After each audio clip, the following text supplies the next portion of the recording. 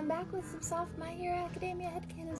After weeks of reassuring Shigaraki that he would not hurt you and that you were not going anywhere, he is now addicted to small acts of intimacy with you. Whether that be a gentle caressing of your face to holding hands, he cannot get enough of it. The first time Shoji took off his mask in front of you, you gently held his face and told him you thought he was beautiful. He did not tell you, but he thought about it for a month straight afterwards.